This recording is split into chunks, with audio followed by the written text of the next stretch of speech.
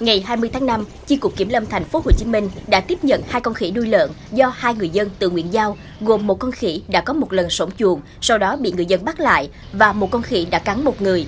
Ông Dũng cho biết, con khỉ trên do một người bạn của ông nuôi đã 9 năm, do điều kiện gia đình không thích hợp để nuôi nên đã cho ông. Lúc trước thì nó hiền lắm, sau tự nhiên à, nó cắn một người ở à, trong đây nên tôi thấy nguy hiểm à, nên tôi báo với lại bên cơ quan kiểm lâm để có thể có biện pháp gì đó ờ, thả nó về rừng. Cùng ngày 20 tháng 5, Chi cục Kiểm lâm thành phố Hồ Chí Minh đã tiếp nhận một con khỉ đuôi lợn do ông Đỗ Đại Lăng, ngụ phường 6, quận Gò Vấp tự nguyện giao.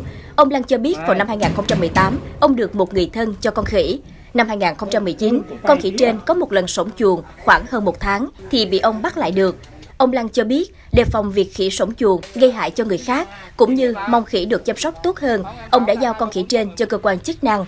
Khỉ đuôi lợn là động vật rừng nguy cấp quý hiếm. Hai con khỉ đuôi lợn do hai người dân tự nguyện giao nêu trên được lực lượng kiểm lâm thành phố Hồ Chí Minh đưa về trạm cứu hộ động vật hoang dã ở Củ Chi cứu hộ, chăm sóc sức khỏe trước khi thả về rừng.